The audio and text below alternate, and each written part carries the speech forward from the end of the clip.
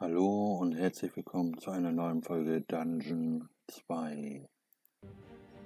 So.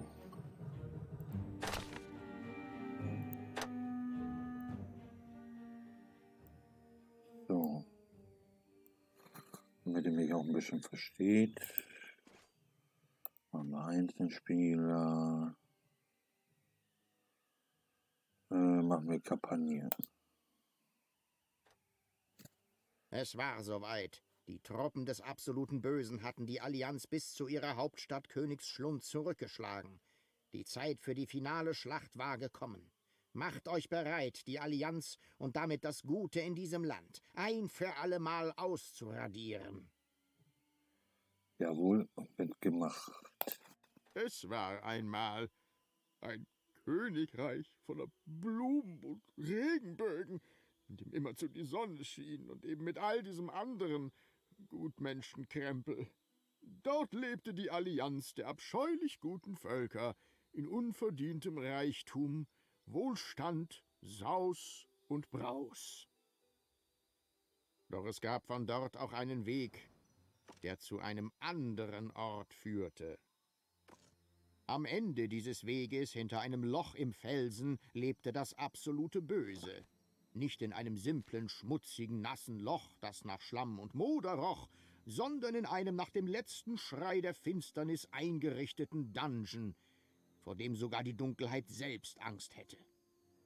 Das war die Heimat zahlreicher unschuldiger Monster, die dort ein fröhliches und zufriedenes Leben im Einklang mit ihrer Umwelt genossen. Doch immer wieder kam das ekelerregend wohlduftende Gute in diese Unterwelt, auf der Suche nach Schätzen und Erfahrungspunkten. Viele ganz und gar nicht unschuldige Monster fanden dabei den Tod, aber schlimmer noch, die Schätze des absoluten Bösen wurden gestohlen.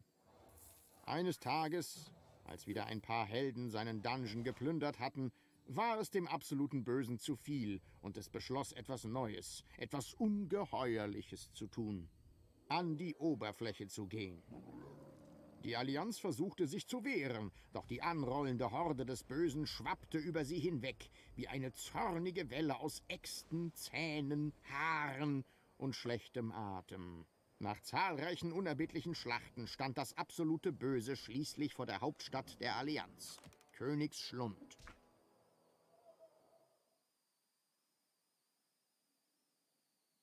Ah ja. Vergesst nicht, dass die Hand des Theos mehrere Kreaturen aufnehmen kann. Ihr müsst sie nicht einzeln transportieren. Okay. Na.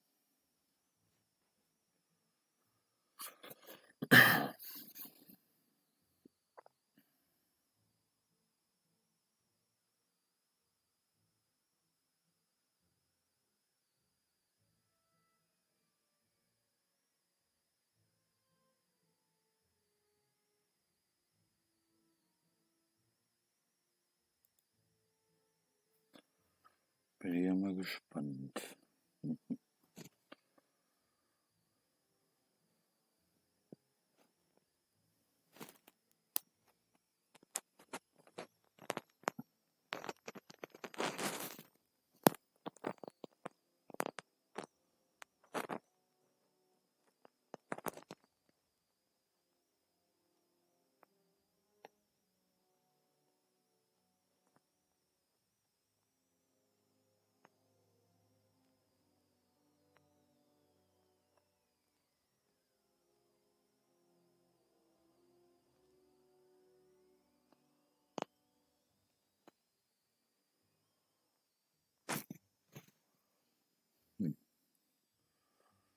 Ja, immer diese langen Ladebalken.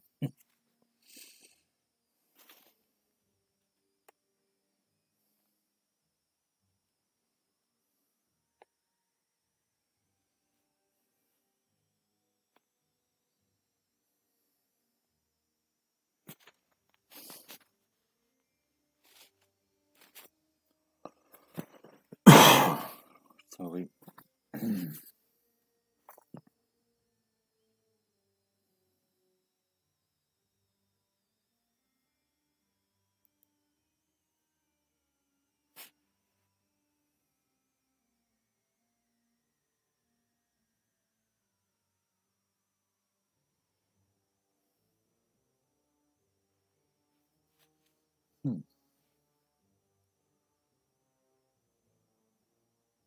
Mal sehen, wie das ist, ne? Weil das hatte ich irgendwie früher mal gespielt, dann 1, PS1 und äh, jo. Seitdem auch nicht mehr, irgendwie, weil auch mal was dazwischen gekommen ist. Kennt ihr bestimmt sicherlich auch. Und ja, da habe ich gedacht, dann hole ich das mal für die PC-Version. Mal sehen, wie das so ist.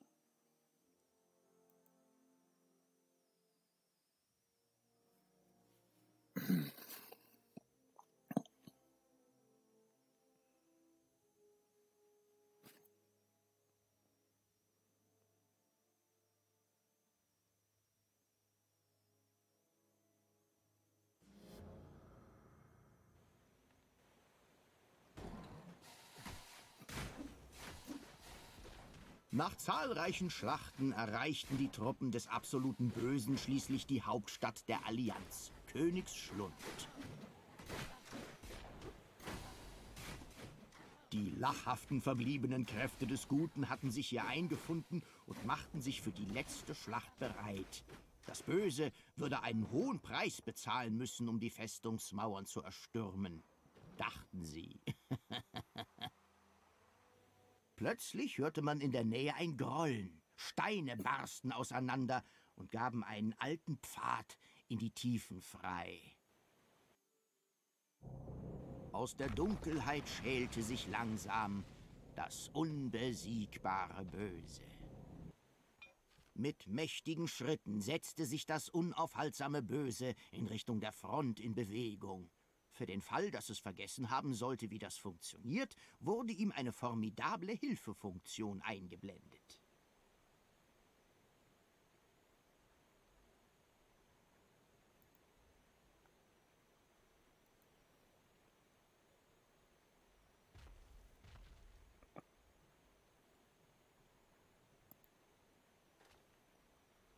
Kurz was einstellen.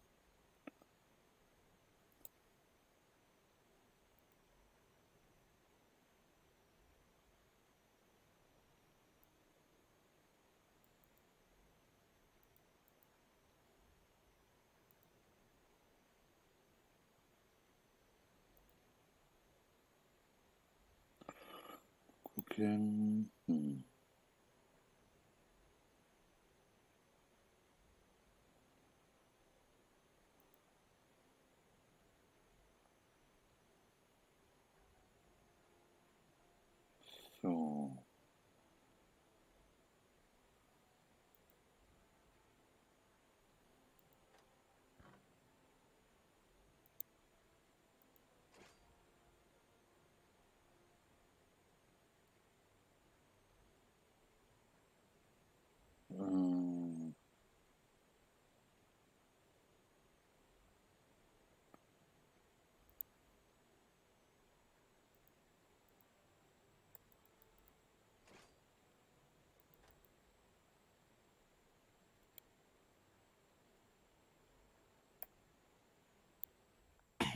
Ich sagte, mit mächtigen Schritten setzte sich das unaufhaltsame, aber etwas schwerfällige Böse in Richtung der Front in Bewegung.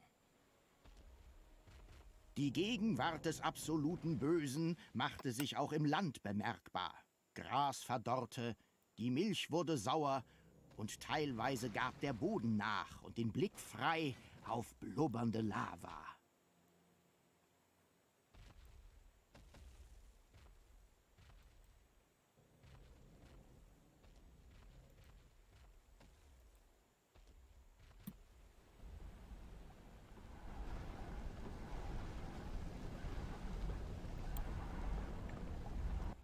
Selbst der Wald hielt der Aura des ultimativen Bösen nicht stand und zog sich zurück.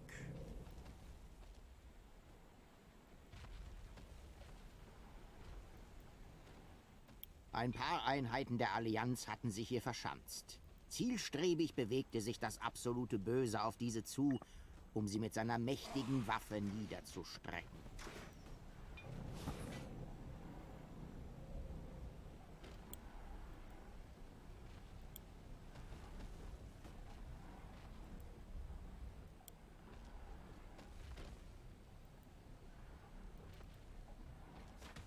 Das absolute Böse hatte ein Abzeichen entdeckt. Durch legendäre Auszeichnungen wurden Kreaturen noch mächtiger. Allerdings konnte eine Kreatur immer nur ein Abzeichen tragen. Mit gierigen, flammenden Augen nahm das heimtückische Böse die blutige Szenerie des Schlachtfeldes in sich auf. Hier würden die letzten Verteidiger des Guten sterben und ein Zeitalter des Bösen bräche an.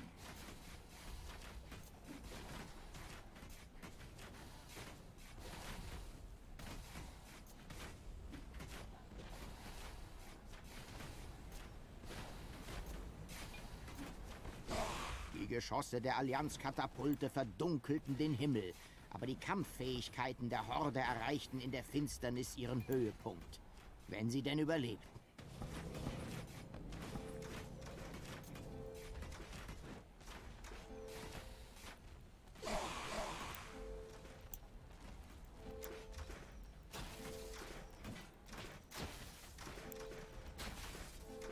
Nichts und niemand konnte das unbesiegbare Böse aufhalten.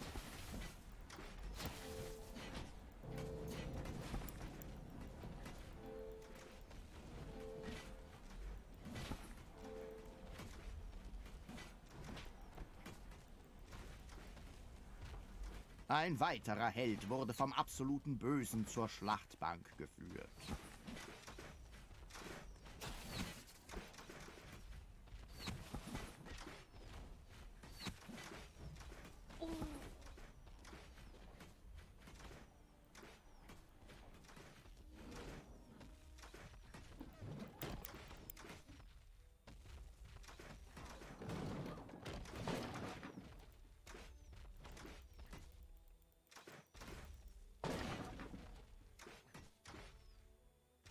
Das absolute Böse zerstörte mit Leichtigkeit das westliche Lager der Verteidiger.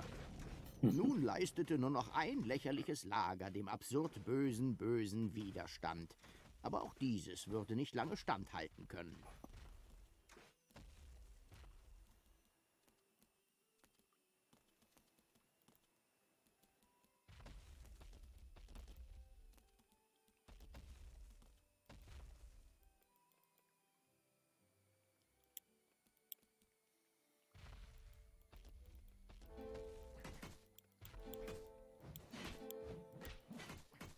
Die Kräfte des Guten hatten gegen das absolute Böse keine Chance.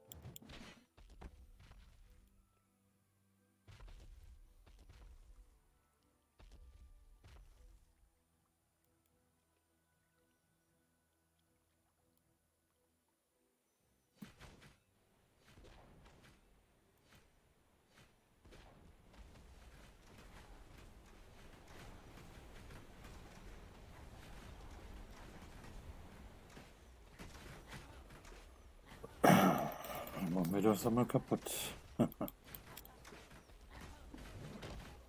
Das Gute zu besiegen fiel dem unaufhaltsamen Bösen so leicht, wie einem Kind den Lolli aus den Stummelfingerchen zu hauen.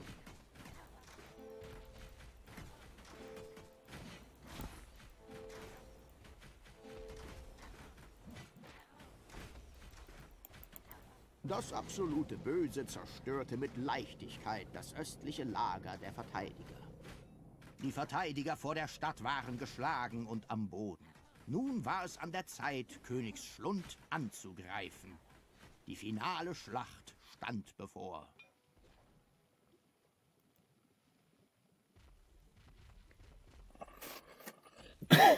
Bin ich mal gespannt.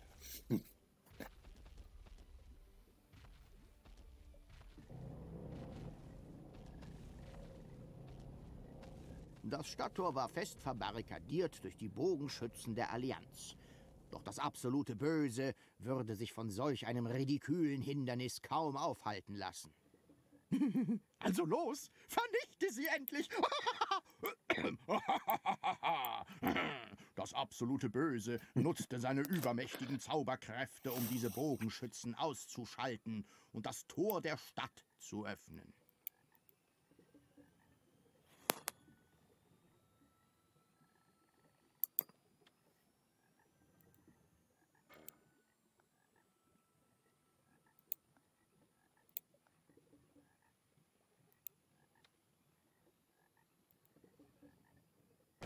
Mit seinen Legend, warte kurz, es kommt gleich, deren Kräften zerstörte das absolute Böse, mühelos das Hindernis und löschte zugleich eine ganze Gruppe von Verteidigern aus.